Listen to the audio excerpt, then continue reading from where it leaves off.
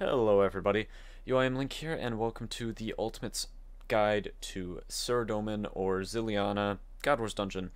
Um, this video has a ton to go over, like legit a ton to go over. I'm going to be going over the deaths and how to get back if you happen to die. I will also be going over how to kill the boss, how to gear up for the boss, and uh, what you should be killing for supplies for the boss. I'm going to be going over literally everything. Um, I will be going over a high level setup, which I highly recommend using, and I'll also be going over a low level setup, which will do you fine, but I wouldn't exactly use it myself. Um, so hopefully you guys enjoy the guide. If you do, please be sure to give this video a like, and be sure to uh, give it a dislike if it wasn't what you expected, or if there was a flaw in the guide, please let me know in the comments and uh, I will get right on to either remaking the guide or adding some type of annotation explaining my error. Hopefully you guys enjoy it.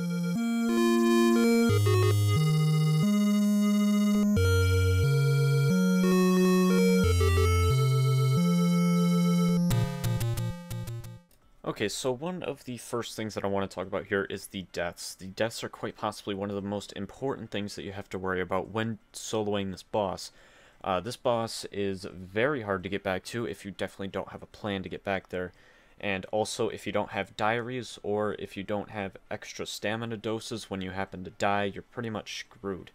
Now, what I mean by that is, in this instance where I have DC'd, I DC'd with a couple of stamina potions in my inventory. This will come in handy because when I get back into the room later on, I will have stamina doses to use to run around and pick up my items, which I will show you later on. If you don't have any stamina doses in your inventory, I highly recommend that you use the Explorer Ring to, of course, maintain your energy in the room while you run around and grab your items. Now, one of the most crucial things that I gotta say is that you are able to get up into the um, Edgeville Monastery, I believe it is, where you can grab monk robes. I believe everybody can do that if you're looking at this guide, but make sure that you go and grab one of those. Not only that, but before you actually go and do so, make sure that you have a cape rack and room for a Zamorakian cape. It's probably in your best interest to throw that in your house beforehand, and also while you're doing Sarah, be sure that you have a room pouch with the required runes in it for a house telly. And also with your house telly, be sure that you have tons of house teleports to get around. So I'm talking about uh, Fally, um, Edgeville teleport, obviously, um, and there's another one. Lumbridge. Lumbridge would be very useful. Well, actually, if you have the home telly, you can automatically teleport to Lumbridge, given that you have the runes. But anyways, make sure that you have those teleports. Um, if you don't have a um, jewelry box, I believe it is, and you can't teleport to Burthorpe to get cheese potatoes, then I'd highly recommend that you teleport to Falador from your house and run up all the way to the Warriors Guild and grab potatoes there. Run energy is probably one of the most crucial things with this. Um, while you're getting kill count, if you're taking the high level route for this, you should have a blowpipe on you. If you do not have a blowpipe on you, you're going to have to grab a adamant longsword in Varrock, which can be bought pretty much, I believe it's south of the actual teleport uh, be sure that you hit up Nightmare Zone before you actually go and buy that sword to get a lot of money out of your coffer, by the way. And you'll have to use the Adamant Longsword. Personally, I've never tried using the Adamant Longsword. I don't know how well it would go, but I know the... If you have a blowpipe on you, you are pretty much solid. Like, blowpipe kill count literally takes about 10 minutes, uh, maybe even 20. But for the most part, you'll be fine if you have a blowpipe. With the Adamant Longsword, that you buy in Varrock, or if you have a mounted Excalibur, you can take that off uh, your house and use that. I'm not exactly sure how well that'll work, so just keep that in mind. You might not be able to get back in time, but you do have an hour. Uh, feel free to test how long it takes for you to get kill count with the Adamant Longsword if you'd like, but getting back to Sarah is pretty much easy. Just, just make sure that you have money in your coffer, an Adamant Longsword if you don't have a blowpipe, make sure that you have your Zamorak and Saradomin uh, item to get into the uh, god place and make sure that you're not getting attacked. And also um, make sure that your run energy is fine before you go into Saradomin. Make sure that you had stamina potions in the room or super energy potions in the room before you go in, because you will have to run around and get those items back. Uh, stamina potions, if they're in the room, use them. Super energies, use them. If, if there is nothing, like I had said, be sure to bring an explorer's ring and recharge your energy while you run around the room and get your items.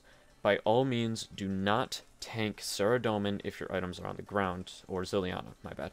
Uh, do not tank Zilyana. I, ca I cannot stress that enough. I want to drill that into your heads. Do not try and tank Zilyana. Do not. Just don't. No. Don't never try it. Um, obviously, I forgot to talk about food actually. Grab your food from the Warriors Guild. If you have the jewelry box, be sure to grab it. Uh, we'll use the jewelry box to go to Burthorpe? Yes, Burthorpe. And then run to the Warriors Guild. If you don't have a jewelry box, you can use a Strength Cape if you'd like. Um, or, like I had said earlier, just use the Falador teleport and go upwards to the Warriors Guild and then buy your cheese potatoes there. I think that pretty much goes over all of it. This was unscripted, so I might have missed something. If I did, be sure to comment down below. Um, but that is that is about sums up the uh, deaths. Uh, be sure to be wary of your deaths. A DC can happen at any time.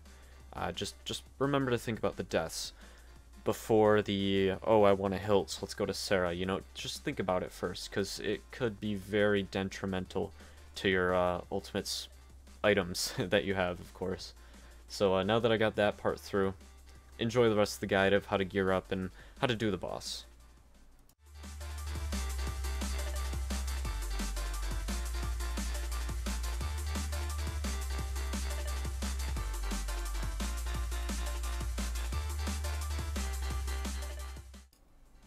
Okay, so gearing up for the boss is rather easy.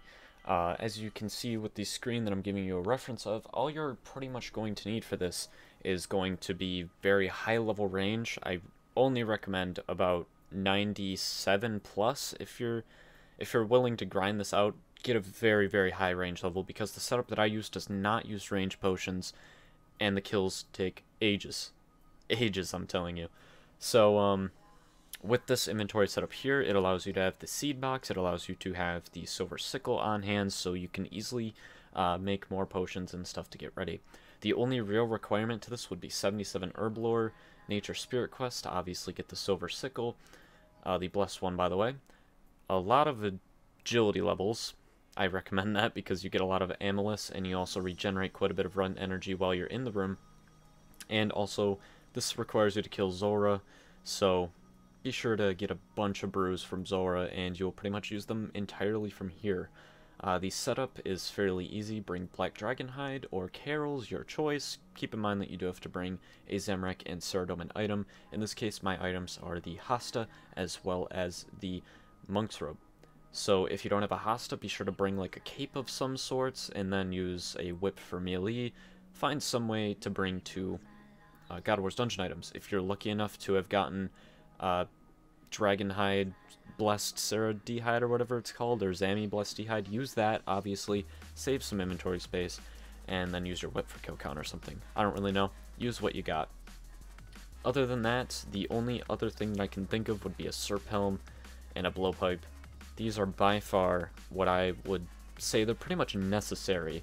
Uh, the Blowpipe will damage Bree down enough so that when you're done with your kill, you can easily damage Bree, and you have enough time to continue with your uh, next kill. And uh, the blowpipe makes it so you just shred through those uh, minions super easily. Uh, by the way, I only recommend about mithril darts. Plus, if you have uh, adamant darts, use those. If you have rune darts, use those. If you have steel or anything under steel, don't use them. Just don't. Uh, mithril is probably the best dart that you can use because it's very easy to make, and you can pretty much just go to Blast Furnace for about an hour and make like 16,000 of them, I think it is. It's insane how many you can make. But um, that's pretty much the inventory setup. The only other thing that I pretty much use would be the house tellies.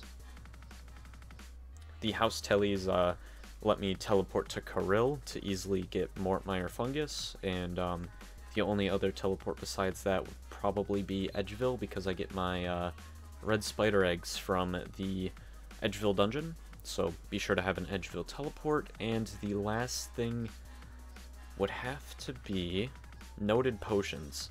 Those are pretty much necessary. I almost forgot to talk about those. Noted potions. So just make sure that you have the Desert Hard Diaries done.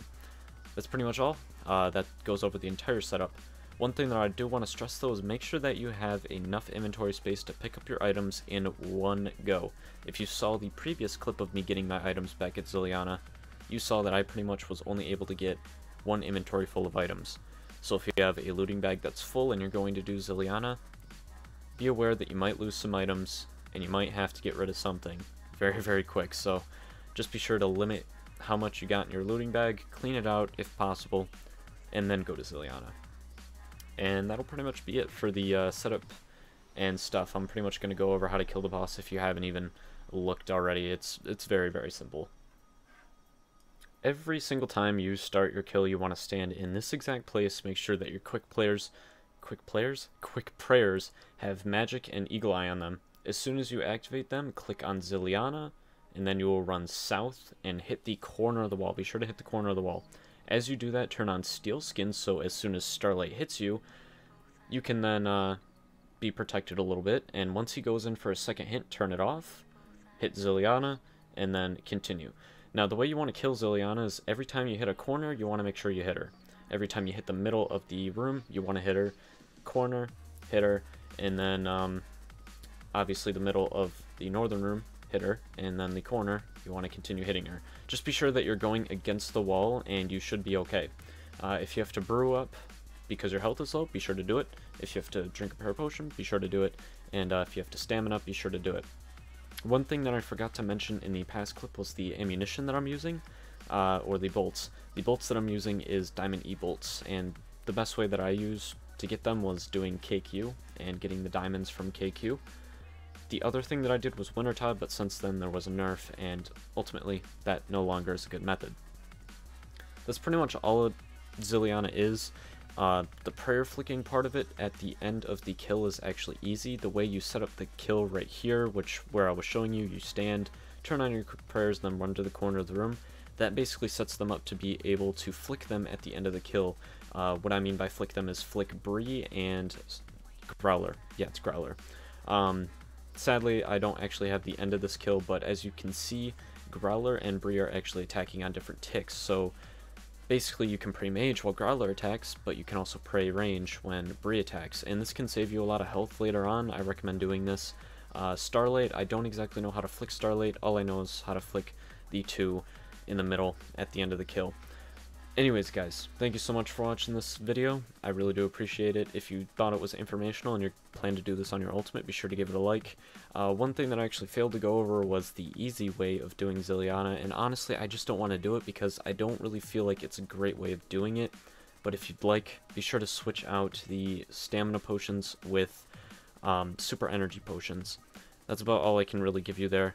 I do not recommend using super energy potions because it's just not worth it, I guess, if you plan on grinding it out. But anyways, guys, that is about it.